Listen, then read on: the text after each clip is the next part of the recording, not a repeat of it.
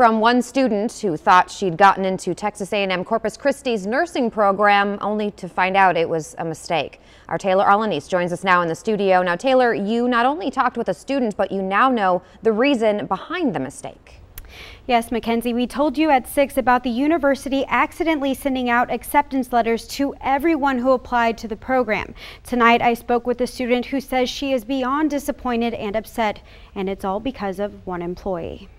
I mean, a B student. I thought I was going to be able to get in. It was supposed to be the happiest day of Amy DeRussi's life.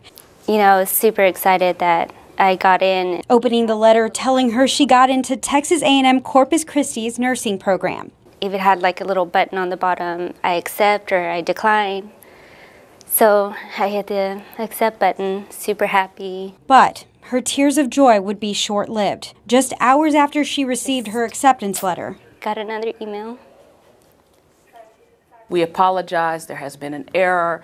Uh, we will send corrected letters um, soon. She, along with 119 other nursing hopefuls, were denied entry into the program. We feel horrible. Uh, we take um, our, our role in this seriously. The provost and vice president of academic affairs says the problem started with a new employee. Since she was assigned the task for the very first time, wasn't really sure about how to go about using an Excel spreadsheet with the mail merge process. Phillips says through sorting through both programs, somehow acceptance letters were sent to all 325 applicants. School says they have worked vigilantly to make sure this mistake doesn't happen again. We are going to a centralized application process where both the dean and the associate dean will have will be in the approval path to verify all letters that go out.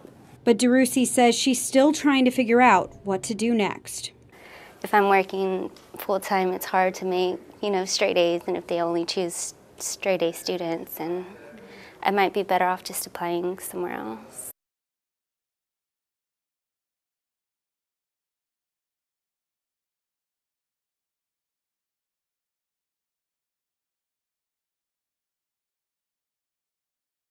And school officials encourage students to reapply next year. If applicants have any concerns about what happened, the dean and assistant dean are willing to meet with them.